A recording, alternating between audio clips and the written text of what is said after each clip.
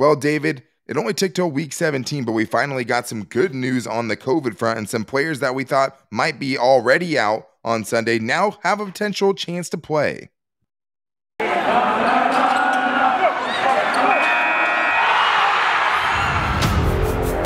You are Locked On Chargers, your daily podcast on the Los Angeles Chargers, part of the Locked On Podcast Network. Your team every day.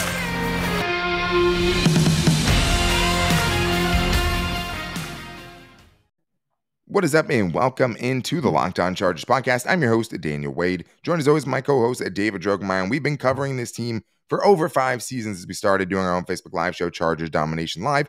Now this is our fourth season as the host of the Locked On Chargers podcast, bringing you your team every day. What's up, guys? Welcome into the show. We have a great one for you guys today because we have finally something with COVID that we can actually smile about, right? Good news, things changing a little too late, right? Would have been nice to have these changes last week, obviously, but great news on the COVID front. But before we get into that, make sure to go subscribe to the Locked On Chargers YouTube channel. We, you guys have been helping us set record numbers there, and we really appreciate this platform, which is a little closer to kind of how we got our start, anyways. But as always, we still love everyone on the podcast forum as well that don't have to see our ugly mugs too. And you can find us for free on all platforms wherever you get your podcast from. But thank you guys again for making us your first listen, as always, especially after tough losses. We've been really appreciative of the way you guys have responded to this one and supported us through all of this, right? We're going through it together. But David, big news on the COVID front. I mean, Yes, the Chargers sir. do have some players that have been activated, right? Which is obviously great news. And we also have some voicemails later on the show to let people vent because obviously a very heated game. So we'll talk about Tom Telesco on the hot seat, what this team's identity is, staying positive after a tough loss like that, and much more. But sticking with this, the CDC changed their guidelines and basically said that instead of a 10 day quarantine if you test positive for COVID, really now you only need to be gone for five days, which is huge, David, because the one thing that we've seen specifically with Mike Williams, right? If you test positive later in the week, you're missing two games, which is huge, right? And for other guys like Nasir Adderley, Chris Harris Jr. this week, other unvaccinated players, you test early in the week, you're still done, right? And that obviously hasn't changed much because everyone we've seen test positive has ended up missing the next game, anyways. But still, I mean, this is huge news, David. I mean, the Chargers could potentially get like all of their players back, including the guys we'll get into that tested today.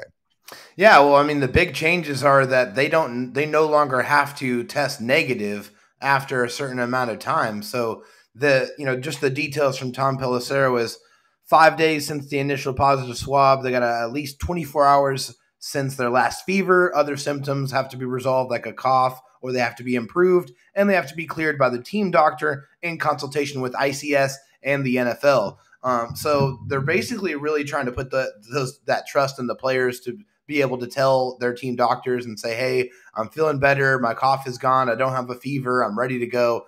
So we, we know the heart uh, and we, we know the, the the mind and the will of some of these players. So I mean, just given given that uh, and knowing that they want to be on the football field and they want to help their team as much as possible, uh, couple that with these new guidelines. Uh, it's looking a lot, a lot better for this game coming up on Sunday for the Chargers to get most of their very, very important pieces back for this game. Absolutely. I mean, at least gives them a chance, right? For Mike Williams, almost at this point, it's more than possible, right? Almost likely that Yeah. he comes back this week now, and he was going to automatically miss that game. And I think this is great for the NFL. Obviously, not as good for the Chargers because they got decimated last week and had such big names on there. But obviously, you can expect Mike Williams, Joey Bosa back, right? And Joey Bosa probably already would have come back, but you don't know. Either way, now it's less, and you have a realistic chance of going. So today, the Chargers had more guys put on the list long snapper Matt Overton, kicker Dustin Hopkins, Trey Pipkins, the hero, you know, from a couple of games ago, and cornerback Davontae Harris, which obviously not having your kicker is not good. And Ty Long can kick. He's a punter, obviously, but we saw him with Michael Badgley injured. He can kick if he has to. Not having your long snapper is not great because then you're going to have to sign one because you're not keeping extra ones of those guys lying around. And you can't just trot somebody out there to be like, hey, you're our long snapper now because that is such an important position. And Matt Overton's been perfect, you know, knock on mm-hmm. wood. Right. And right now, I mean, Tristan Vizcaino probably should be back, right? You would think by the game because he tested positive last week and was a vaccinated player. Right. But right now he's on the COVID list too. So the Chargers have two kickers that are on the COVID list. And at least, David, this is going to be pushing it because if it's five days from Tuesday, I mean, that's putting you at Saturday, Sunday. And obviously, if you don't have your specialist there and you don't have your kicker, I mean, that's obviously a reason to concern, especially against a team like the Broncos, where they have a really good defense. You kind of need all the points you can get. Yeah, absolutely. And field position could be a key part of that. Even for well. Brandon Staley, who loves to go for it on fourth yeah, down anyway. Yeah, exactly. I mean, yeah, there, the likelihood of Tristan Vizcaino being available to come back for this game, just uh, you know, based on when he was placed on the list, is pretty strong. So, I mean, pretty much everyone from last week, Yeah. right? Are we expecting everybody that got put on last week to be back this week? I, I would say, yeah, I, I would say so, especially with these new uh, CDC guidelines that the NFL has since adopted. I think there's a, a very strong chance that all of those guys are going to be back to play. But if not, it's really nice to have a guy with in Ty Long who has kicked field goals in the past, has had some success doing that. Um, so that is invaluable for them. And they also did, I, I, I don't know his name right now off the top of my head, but they did add a long snapper to uh, the Just practice squad just in case, you know, Matt Overton can't come back. They'll elevate him and have somebody. I mean, obviously, they were never going to go into a game and not have somebody available for that integral, you know, uh, performance. You know, they need to have somebody to be able to do that. But um, yeah, it's it's really really good. You know, especially going into these very very important games for the Chargers that they're going to have every opportunity to get all of their guys, at least most of their guys, back to full strength going into a game they really have to have. Yeah, I mean, every game's a must win from here on out, right? And it just seemed debilitating because after last Yeah. week, missing the dudes that you were missing specifically, I mean, the Texans were missing a bunch of players. They weren't missing a Joey Bosa level player, right? They were missing some of the guys the Chargers Ju- had, obviously. Justin Jones, I- I Justin mean, With Michael Davis, you know, Mike Derwin James misses with injury, Ekeler. but yeah, Exactly. And I mean, that's just, it was just the caliber of player weren't anywhere near each other. But hopefully, getting, you know, Corey Linsley back this week is going to help a lot. Getting Joey Bosa, getting some of these guys back, especially on that front that got really battered last week, is going to be huge. I mean, now you have Joe Gaziano back already. We told you guys yesterday. And today you have more guys coming back. Justin Jones is activated today. Chris Brown- hallelujah. Chase Daniel, Senio Kelemete, who was put on yesterday. So we're thinking that's probably a false Yeah, it positive. seems like a false positive to me. and Andre Roberts, right, who has really been a breath of fresh air this year in the return game. I mean, he yes, he's has been been the best awesome. Chargers returner I can remember. Like literally. in a long, long. I mean, since Who? what? Probably Darren Sproles. Yes. Uh, honestly, I mean, I think that's the last notable guy that you can say that guy really provided a spark, provided juice. Travis I mean, yeah, yeah, okay, whatever, Dan. can do both though. Yeah. I mean, Sproles return kickoffs and punts, right? You Yeah. can do both. And obviously he was dangerous in all of those settings. Get the ball in his hands. And like Andre Roberts, they trying to even incorporate him a little bit into the offense. It hasn't always worked out. But you see his vision, right? Like you can Yeah. see him seeing the You field. see his explosion. He has that that fearlessness that you need as a returner, and that's why I think it's really good for him. You know, on those end arounds every once in a while to see if he can win the edge, and you know, see uh, see if he can use his vision to hit a hole and go. I mean, we've seen him do that multiple times uh, as a kick returner this year, and it has really provided some much needed juice to that position because what happened to Joe Reed? Yeah, I, I mean, that was one of my favorite guys, and I really am sad that we didn't get to uh, see him really have an opportunity to go out there and showcase what we saw in college, which was a dynamic returner, a, a guy who you know won the award for the best returner in college football. We just have never seen that translate, unfortunately, but. The Chargers found a diamond in the rough uh, in the return game with Andre Roberts, so it's really nice to get him back. Also, it's going to be nice to add Chris Rumph back, the rookie. Uh, you know, get him back on the edge. Um, the the more playing time that guy gets is going to be better for him and better for the football team. Especially when you don't really know what you're going to do with the Cheney Nwosu. I mean, I think Yeah. right now you have to bring him back and then still kind of add to that position, and you're not done Definitely. there. But I mean, you need to kind of know what you have in Chris Rumph. At the same time, if he's not cutting it, he can't play, right? Just Yeah. because like these games are way too important. So like, Well, and he helps on special teams too. I mean, Yeah. he, he's he's going to run down and get some tackles on special. he also teams, keeps so. Kenneth Murray off the field in that the edge position, which Yeah, may be equally as important, right? I mean, Justin Jones, Joe Gaziano takes away from how many, you know, the spotlight off Jerry Tillery and teams being able to, you know, single him out. So yeah. I think that's something that obviously helps getting some guys back, finally seeing some reinforcements come back Thank into the you, picture. Jesus. And like the thing is from here on out though is just after today, who who are we going to see added to this list? Because right, because even with today, the new stuff, they're not. Yeah, even play. with the new, yeah, if you, at least as far as we understand it right now, right, and this thing yeah. is always evolving. It's seemingly. a fluid situation. Yeah, totally.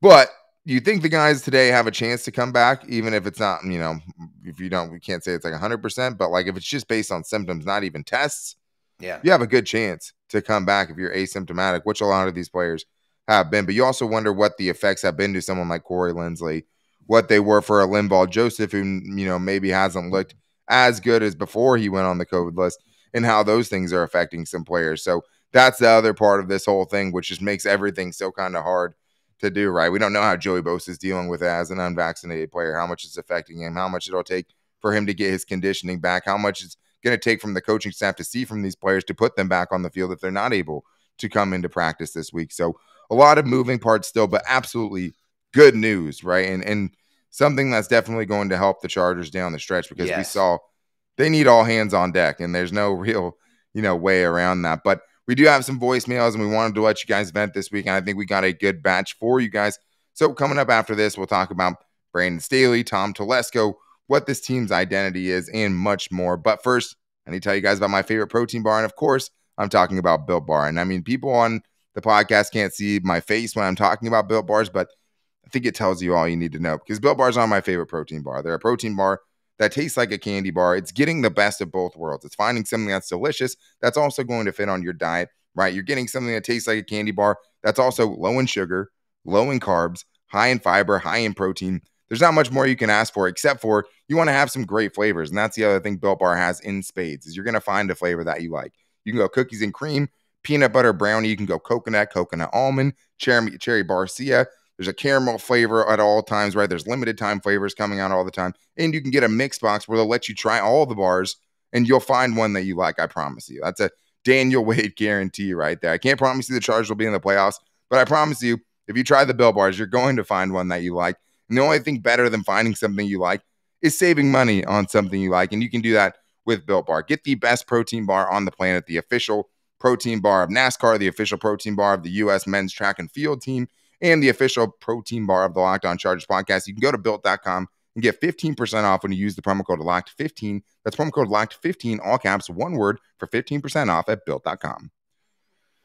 All right, David, well, it's time to get into some voicemails. And if you guys haven't already, make sure to call in and get your thoughts and questions on the show. I feel like we have some OGs that call in over and over again. We love having first time callers. And I think we have one today, but I don't know what the name of the person is. So we'll get into that later. But I appreciate everyone who does call in, and we're trying to incorporate this the best we can for everyone who does get played on today's show. Yes, I did have to cut your, you know, voicemail down a little bit because they are being strict about how long we can do these voicemails with YouTube and everything. But I love getting your guys' perspective on things because it does bring a different aspect to the show. So the number is 323 524 7924 if you guys are trying to get your voicemail on the show. But let's start here with Joe from Jersey. Two Jersey callers today. Let's hear what he has for us guys, Joe from Jersey, giving you a call after that awful Houston game. Really down on this uh, Chargers defense. I thought when Brandon Staley came in, he would be the guru of a really, really good defense. And given the fact that we have Derwin James and Joey Bosa,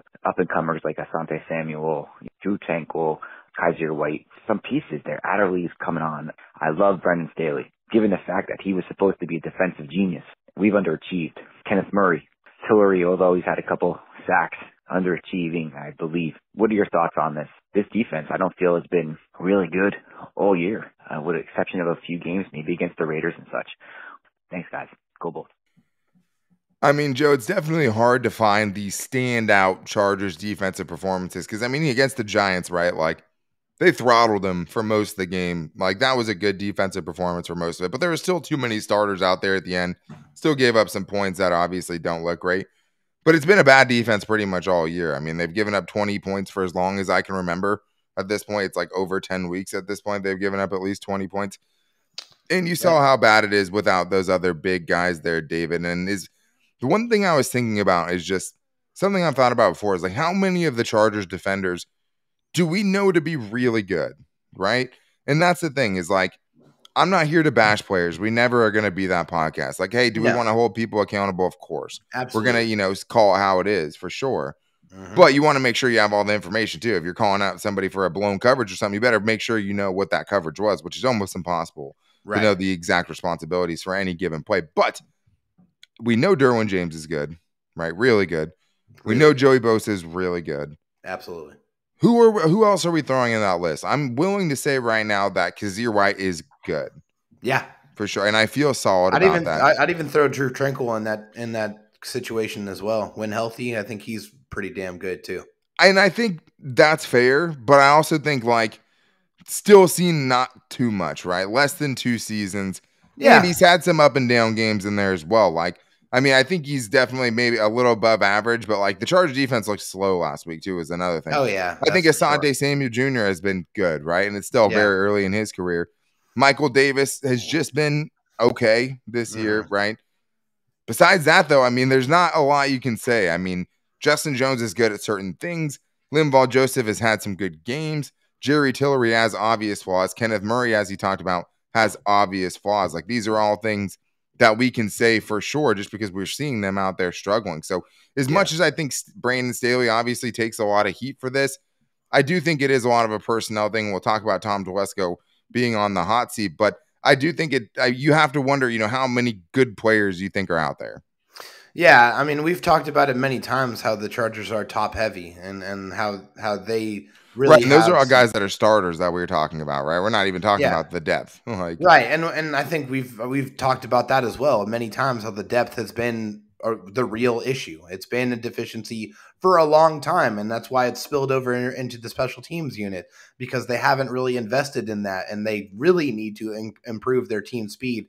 Obviously, I think everyone at this point knows the Chargers are going to have an outlandish amount of cap space this offseason, so they're really going to be able to do almost whatever they want with any player that's going to be available. They're going to have probably the top, probably one or two amount of cap space uh, in the NFL this offseason. So it's like uh, seventy million dollars. Yeah, it's seventy like plus million. It's absolutely unreal. So Brandon Staley and whoever the GM is be is going to be, if that's Tom Telesco or somebody else, they're really going to be able to make you know really make this in in you know the image that Brandon Staley wants it to look like. I mean, I think he did, like I said, I think he did a good job of grabbing some players in the draft and in free agency to try to really start that foundation. Sure. But he still needs to continue to add more pieces that are going to really fit and excel in his scheme. When you can't start building the foundation in year nine, right? right and I think yeah. that's the thing is like he's had a lot of time. And like Brandon Staley, we've only seen him with one group of players for the most part and a lot of mismatch pieces and a lot of guys who have been in and out of the lineup. So I think he definitely deserves – the benefit of the doubt so far, you know. But let's oh, hear yeah. what Bob has to say from Jersey because he had an interesting take on Brandon Staley as well. What's up? It's Bob from New Jersey. Obviously, terrible loss. My issue really is with Staley. Uh, you know, he says this game's on him. Well, if this game's on him, then he's a pretty bad head coach. My concern is we're looking at a Bill Belichick situation with Cleveland. You know, this guy could be a good head coach. I don't know yet. I don't think anybody knows. And I'm afraid that he's going to perform poorly with the Chargers and wind up being a great head coach somewhere else. I'm not saying I want to get rid of him right away, but I think he does need to look at himself in the mirror and look at how he coaches. I mean, does he ever chew these guys out? He seems like always optimistic, is always positive. Maybe that's the way to go, but it doesn't seem to be working here. I think he needs to start chewing some guys out. I think he starts need to make guys accountable, and I think he needs to look at himself in the mirror and, and, and evaluate himself as a head coach. I mean, it's always hard to say, you know, what the philosophy is the right philosophy. Like just having a hard ass coach doesn't make you a better team. Like that doesn't make your players play better necessarily. Like I think one thing Brand Staley has is the respect of his team, right? And I think that you've seen that in spades through, with his players. I think you've seen players in the position to make plays, and maybe, maybe not, they haven't stepped up, right? And that's also been a part of it as well. But like, are you afraid that Anthony Lynn is going to become the next Bill Belichick, right?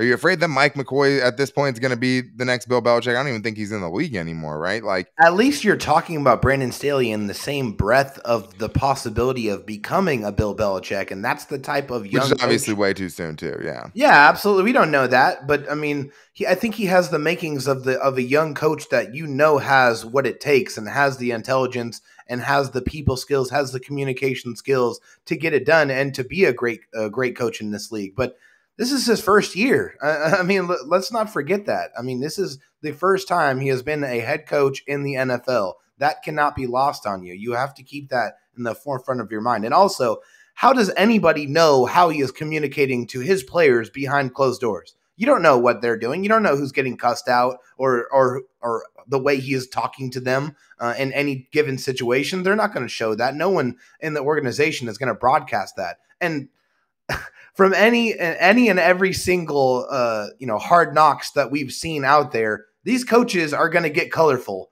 I mean, whether we see it or not, that's just a part of the NFL landscape and the NFL life. So to make that kind of uh, accusation, I think that's a, a little bit um, far fetched. I would say.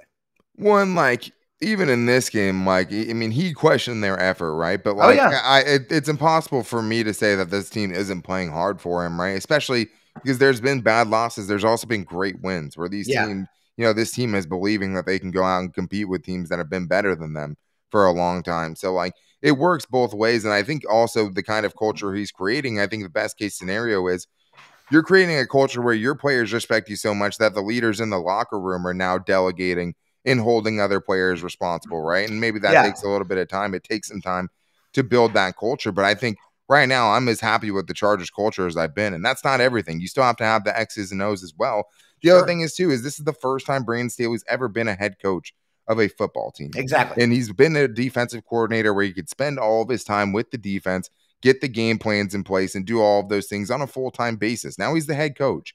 There haven't been any noticeable huge gaffes, right? I mean, there's been some decisions I haven't cared for down the stretch, maybe some timeouts here and there. But it wasn't every single week you're questioning a decision he made or a time. And it's not anywhere near issue. what we saw from Anthony Lynn. Like we're not seeing Justin Herbert QB sneak on a pass protection set by the offensive line. We're not seeing that field goal unit not be able to get on the field in time for a field goal while the offense is still standing on the field. We're not hearing exactly. miscommunication in every press conference after the game and having them not tell you what's going wrong. Brandon Staley has been transparent every step of the way, and I think he is kind of going in that direction because after that last game, I do think he bared his teeth a little bit and was just kind of calling people out, just saying the effort wasn't good enough, and that's with missing, you know, five out of your top seven or eight players defensively. And you don't really want to call out your guys like by name. We've seen coaches do that many times in the past, and the amount of times that that backfires uh, is pretty much 95% of the time. It's never a good look because when you start doing that uh, on, on a regular basis,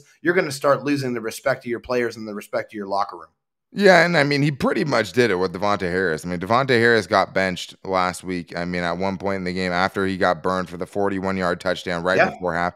Bad situational awareness. And he still, you know, Brandon Staley sat Kenneth Murray in favor of Drue Tranquill. Like, he hasn't given the guys like Breiden Fehoko enough snaps, right? And taken Jerry Tillery off the field enough. So it hasn't been right. perfect. But at least you're seeing something there, right? And I think that has to be a positive for the Chargers and for Brandon Staley. And I think let's give this dude some time because like yeah. he could be a special coach. And you're right. I mean, Bob, you don't want to let him get away because you don't know what he's going to turn into. But I think everything right now is so prisoner of the moment. I think we all need to take a step back and give this dude a chance, right? And yeah. you know, maybe he's a better defense coordinator than he is a head coach. The one thing we do know is we don't know that right now, right? And yeah. I love the way he's handled this team as a head coach and how the players respect him, how he respects his player, and you know, putting the game in the hands of his players, whether or not they're stepping up to those occasions, you know, stepping up yeah. to the plate and hitting home runs in those situations. That's another story. But we do have some more voicemails to get into. So I do want to get into those talking about the Chargers identity and staying positive, right, in the tough part of the season right now after this.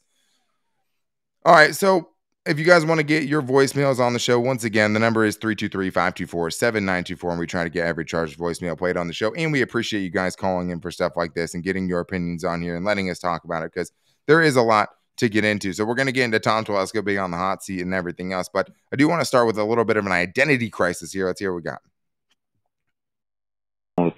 My biggest concern is 15 weeks in, I still have no clue what this team is about what is our identity? Can you guys enlighten me a little bit on that? Great question. I mean, I don't know if this team has an identity yet. I mean, I think the closest thing they are, like, kind of like I talked about, is just like being that aggressive team. But you got to stay consistent with it because we saw some lapses in that last week. I mean, I think you saw a Minnesota game, you saw it last week. I think for the most part, though, you've seen a team who's you know, really leaned on its quarterback and its offense, which has really had to this year, but a team that's going to lean on being aggressive and, you know, putting the ball in the hands of their players in important situations. I would agree with that, and also I, I, I kind of liken the Chargers a little bit uh, this year to a chameleon. You know, they're a team that tries to conform or really ad, uh, adapt to the opponent that they're playing week to week. And that's why I think we haven't really seen a lot of the consistency that we're all searching out for and we're all looking for. But I think that's what they're trying to do. They're trying to really match up as well as they can and have those unique game plans for each team that they're playing each week. Yeah, and I just don't know if it's showing up right on either yeah. side of the ball consistently enough because though I get what you're saying here as far as like they're not the team that's going to just out physical you, right? You, you right. know, there's some teams out there that's their identity. They're not even really the bombs away team because we don't see them commit to you know those deep passes enough. They're not always the quick passing game team, even though if you were to pick something, it, that would probably be what it's closest to, yeah. at least offensively. But I think they're still figuring it out. And I think once you see the personnel on this team start to fit the schemes a little bit better, maybe then you see, you know, a little bit more of what this team's identity is. But speaking of which, somebody's going to have to put those pieces in place. Will it be Tom, Tom Telesco or is Tom Telesco on the hot seat? Um, fellas, I'm from Victorville here. I have a day to uh, kind of mull over what happened, what's going on, some more COVID uh, list players. Where do you guys think Tom Telesco is going to be on that hot seat? Because if it wasn't for Staley and we had a bad season, I'm pretty sure, I mean, Tom Telesco would be on that hot seat because all these losses, everything that's popping up, I think is just lack of depth. And uh, there's been a lot of people talking about it a couple years now, you know, that they're not addressed positions. You know, even if not a starting guy, we need to get those uh, backups solidified and good players back there. What do you guys think about Telesco's chances moving forward if we don't pull out playoffs this year? All right. Well, I mean, anyone that wants to know how I feel about Tom Telesco can go to the LA Football Network and, and look at the four pieces I wrote on it before the season entering his ninth season, right? That's what I thought plug, about people. Yeah, I mean, it's just like it, you can find my full thoughts there. I mean, I'm not oh, going to get nine thousand words into this thirty minute plus ish podcast. It's a great article too. Definitely go read it. Yeah, it's four. I mean, because that's how much it took to kind of break down all eight of his draft classes going into this season, right? Mm-hmm. And because that's really the only players we've seen play a full season in some cases. And I think the biggest yeah. thing with Tom Telesco is just not having those depth pieces, not getting right. enough out of you know the guys you need to find backups and mm-hmm. reliable pieces or find average players or find diamonds in the rough. We saw some of that, right? I mean, we felt that way. I mean, Kyzir White, I think, is looking like that right now, and that's obviously come with this. Austin Ekeler is definitely one of those diamonds in the rough. Obviously, undrafted player, yeah. Yep. But we're talking about draft picks and what you're using that capital on, and how you're, yeah. you know, free agents are panning out. And I mean, no matter where you look, you're going to find some faults. And I think sure. Tom Telesco had a pretty good offseason this year, right? I yeah, think he's still year. winning. Yeah, for sure. And and this is year nine, right? This isn't when you're supposed to be building the foundation. Like the exactly. foundation should be built, and you should be adding on to it. The other thing about Tom Telesco is we've seen him fail another really good quarterback in Philip Rivers. I mean, think what you want about Philip Rivers.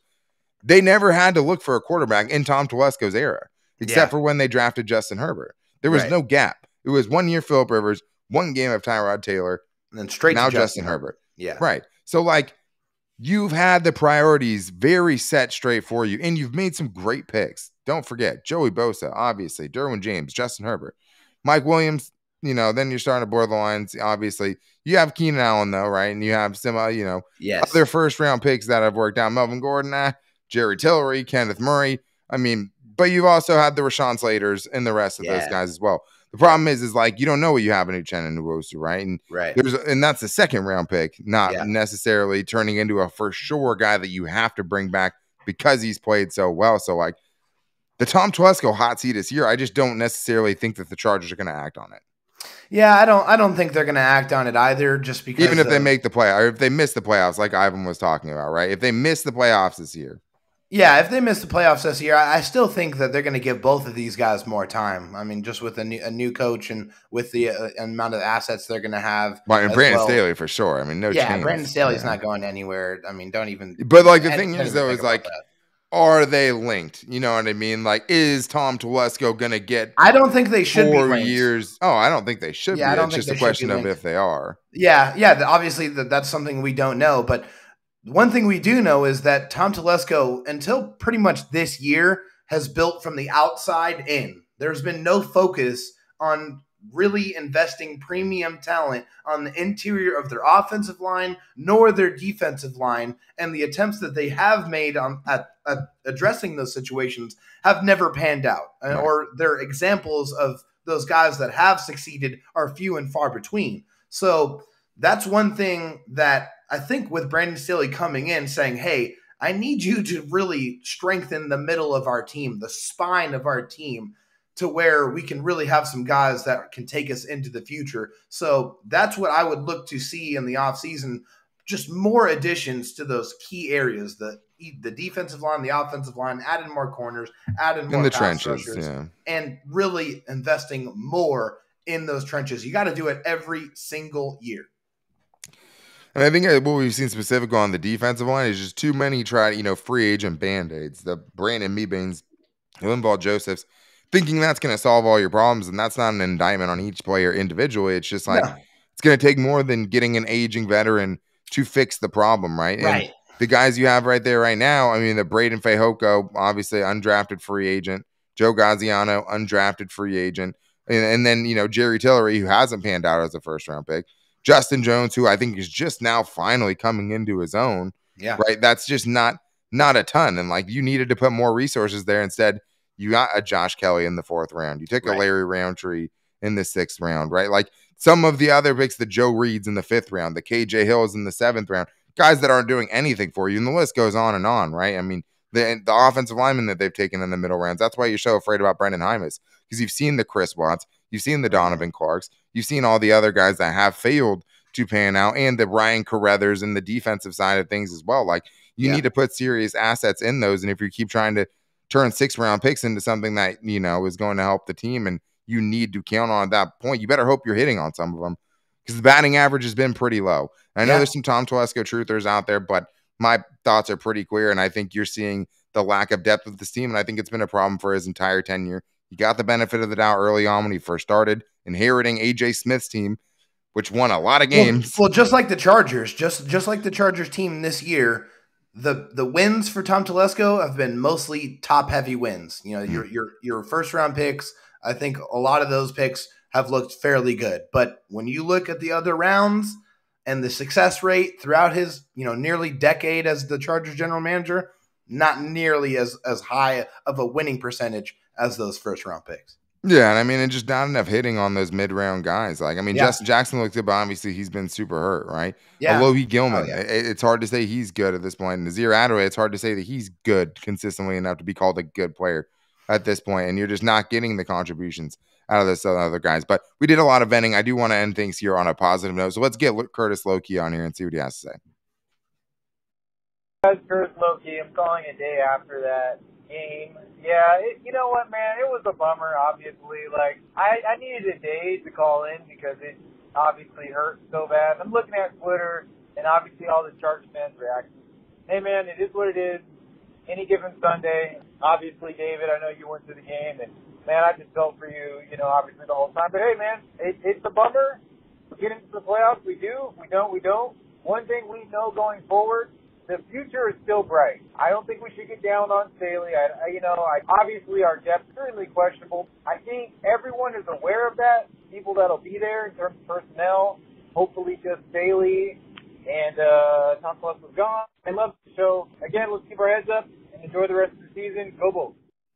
I like getting all that positivity slips in there, and Tom Telesco's gone. You know, and he also talked about us. You know, talking about the, the I had to cut out the you know, the Chargers, us saying the Chargers were going to blow out the Texans last week.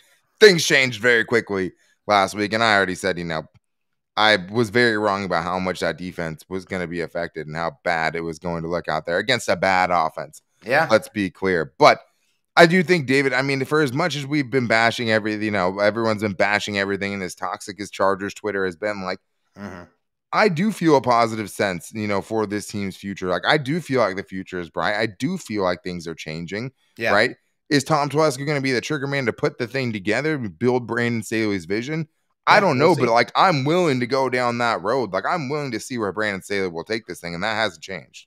Right, and it's because I think the first year that we've seen that team together with Tom Telesco and Brandon Staley, I think I've I've liked a lot of the additions and a lot of the draft picks that he's brought into the fold. I mean, how do you not love Corey Linsley? That that signing is looking better and better every single day. The dude Matt is, Feiler, is absolutely the truth. Yeah, Matt Feiler, Oday Aboushi, before he got hurt, was playing Yeah. really, really good football. I mean, some of his draft picks have come in and, and provided some meaningful snaps right away. So I, I And you feel first- like Brandon Staley had a part of those draft picks too, and that's what Yeah, makes you feel good about. it. Like it seems like Brandon Staley has kind of changed the way Tom Telesco is drafted, and you Yeah. feel I think really good about Slater, Samuel, Josh Yeah. Palmer's look really good. Yep. The rest of the guys you've at least seen some flashes.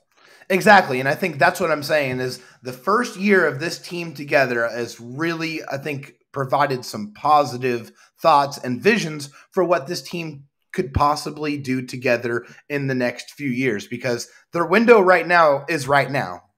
Justin Herbert's on the rookie contract.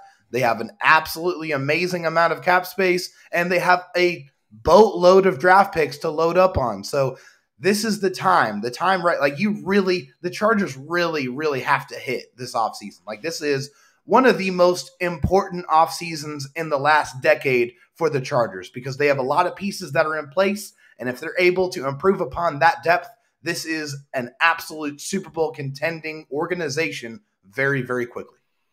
Yeah, and I mean, at least it seems like it's on that trajectory for me. And I think that, I mean, especially losing as many starters, and the Chargers weren't going to go out there and be able to break the bank on some of the guys that left, like a Rayshawn Jenkins, like a Hunter Henry, right? But you also lose a Denzel Perryman, a Casey Hayward, right? You move on from a Melvin Ingram. Like, that's a lot of pieces, mainstay guys that they've had to replace here. So I'm willing to give Brandon Staley the benefit of the doubt. And I haven't always felt like this. Like, I didn't think the team was going in the right direction under Anthony Lynn.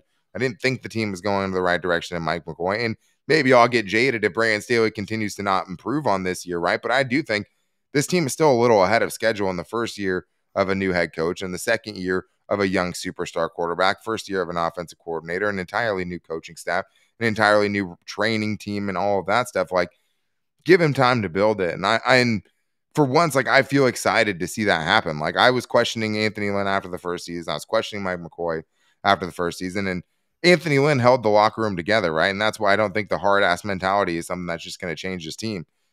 I like where this team is headed. I like the pieces they got this year. I like the thought of a full off season, right? Maybe less COVID restrictions, more time for Brandon Staley and the rest of his coaching staff to get in what they want to do and be able to really implement the way they want to play and build the roster in Brandon Staley's image and get the guys that he needs to be successful because he's on his third head coach. Tom Telesco is right. So if it's not working with the third guy, you're either terrible at picking head coaches or you're just not putting the right team together. And I think that's a chicken and egg situation that I don't know if he's getting the entire length of Brandon Staley's contract to figure out. But that's going to wrap things up for today's show. Make sure you guys are back here tomorrow because it is crossover Thursday.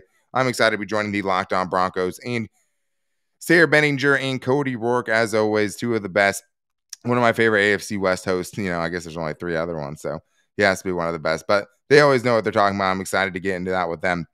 If you guys make sure you don't miss it, you can go to make sure you don't miss it. Go subscribe to the new Locked On Chargers YouTube channel. Follow the show for free on all platforms wherever you get your podcast from, and you can find the show on all of our social media. You can find me at, on Twitter at Dan Talk Sports, Dave Jogmeyer on Twitter at Joe Talk SD, and the show's Twitter at Locked On LAC. But make sure you guys get on the next voicemail show. Once again, the number is 323 524 7924. But make sure you're back here with us tomorrow for crossover Thursday. Until then, take it easy and go Bolts.